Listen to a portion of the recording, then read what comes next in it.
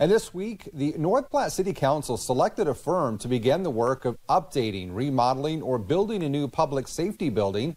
KNOP's Tristan Winder joins us for a deeper look into the potential project and its need.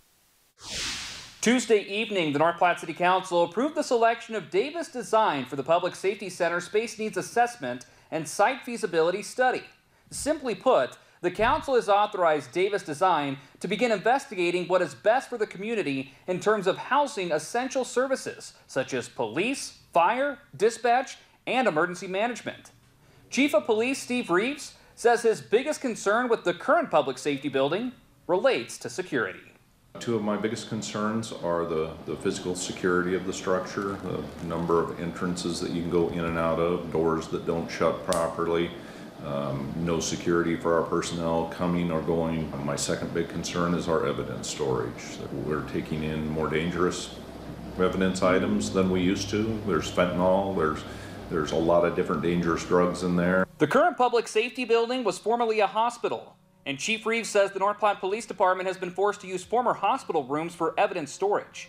Chief Reeves also stresses that no plans are being formally made on building a public safety building.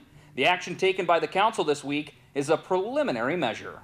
This is just a preliminary step. I oftentimes get asked, well, where would you where would you go or, or how much would it cost? And I don't have any of those answers. So this study will allow us to look at what we have, identify our deficiencies, uh, look at what we need and get some conceptual plans for what it might look like, help us choose a site to build it, and then give us some preliminary costs so that we can speak intelligently and kind of plan in the future and see if we can come up with money to, to build a new public safety building.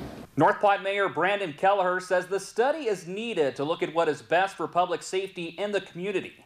Adding the construction could be as much as a decade away, or as little as four to five years. So questions still remain, especially the funding component. But more will be learned after the preliminary piece is concluded, that piece that was approved this week.